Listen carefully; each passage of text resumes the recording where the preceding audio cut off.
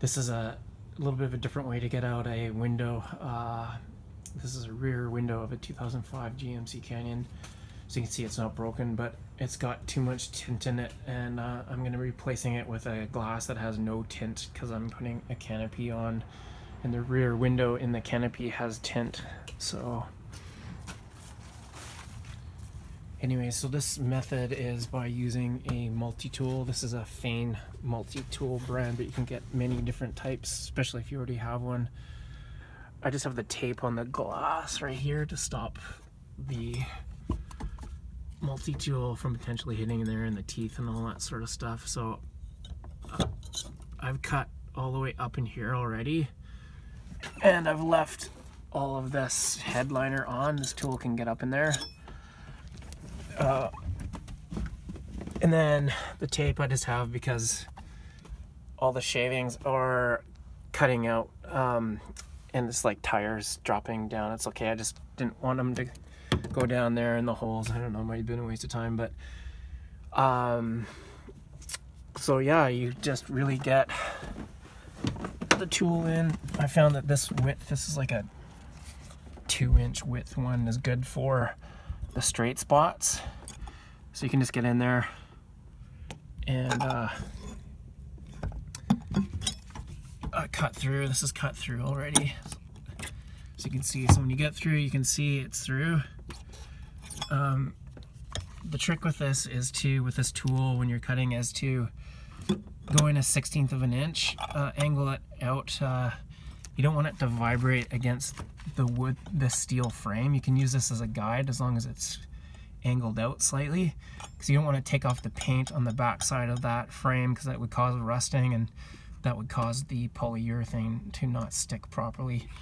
So, uh, so the trick in using this tool is to push it in, start, and then keep it in the groove, and then slide it up and do the whole cut in the area that you want. And then make the second pass, push in another 16th, now it's an eighth. Make another pass, push in another 16th, now it's 3 16ths, and then a quarter. And the thickness of the polyurethane is anywhere between a quarter and 3 eighths or a half an inch thick.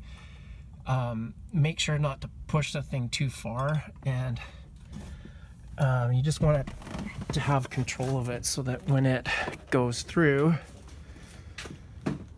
uh, when it goes through you can see that it doesn't come further and hit the steel. You don't want it to hit in here and uh, take off the paint and you know scratch it of course and then cause rusting. Um, so yeah that's something that works well. And then I should probably show you so I'm going to do all my straight cuts first and in the corners I'm going to put this onto the tool. Um, this was a Ridgid brand which I usually don't buy but anyways. Imagine that going into a corner would work. And uh, this is the other one that was used. Um, this is what does it say? It's like two inches two inches wide um, anyway so this is the one that was on the tool for um, the main cutting areas and um, because I was actually taking off two windows.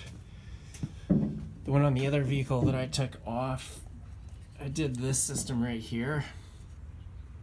Um, so I went to a building supply store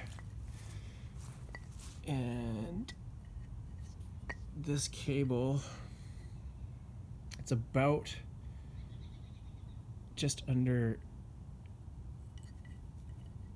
an eighth of an inch and you can see it's braided. This one's quite strong so I was thinking this is the one that wouldn't work and um, originally I'd purchased one that was for hanging pictures um, it's, braided and it uh, it just wasn't strong enough. It snapped on the first on the first pull. So um, if you look online you'll see another video. There's not many that show this. It's sort of like sawing it out. So what I did is in this corner on the inside of the vehicle, I used a knife and um,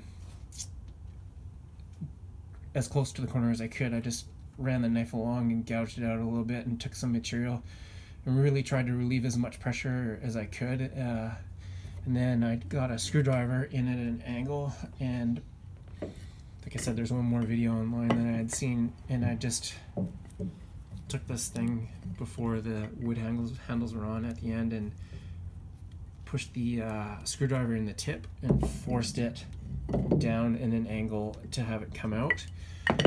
Um, so yeah, if you buy about three feet of this, I would actually buy six feet in case this thing snaps. Um, it uh, it didn't for me. I was lucky, but it did at the very very end when I was rubbing against steel do a little bit of fraying. Um, but yeah, I purchased this at a building supply store, and uh, it's it's pretty durable and it's got a little bit of texture, so um, it will it'll cut through the urethane slightly, but you have to put lots of pressure. And thing about this thing is, of course, you need two people, and it took me and my friend about 45 minutes. Um, so what I did was obviously drill the hole, wrap this. You don't want it to come off halfway through the job, so I wrapped it around a number of times once it's around and through. So I put it through the hole twice and then wrapped it around itself. And um, so of course you can't tie both up first because you can't the pieces of wood because you can't feed it through the window obviously. So I tied the one side um, and had this sitting in the vehicle, and then with that side not being tied, I just forced it, the steel cable through the corner here, pull it out here. Um, I would have a pick, which they call, anyways, they call it a pick, but I bought this at KMS Tools. Um, it's a cool set actually. These thread into the end, so this one's that sort of a shape on the pick. And this set had a whole bunch of them, different angles and stuff like that. Um, and so I used that to grab the steel cable when it was through the window and pull it. Okay, so um, yeah, so that's if you're not a guy that's doing glass every day and don't have all those glass tools, the multi-tool does work. Um, as I say, just don't scratch the frame because you don't want to go backwards and have to primer bare metal and stuff like that. Um, so